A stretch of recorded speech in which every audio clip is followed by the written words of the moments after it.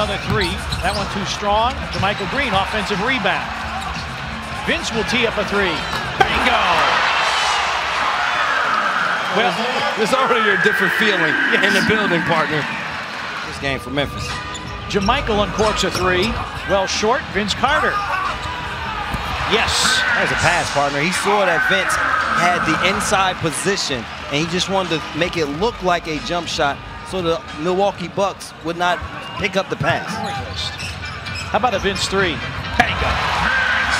This guy just continues to keep himself ready to play basketball in whatever role the Grizzlies need him to be. Conley goes out, Harrison back in, under five to play. Vince steps out for three. Bango.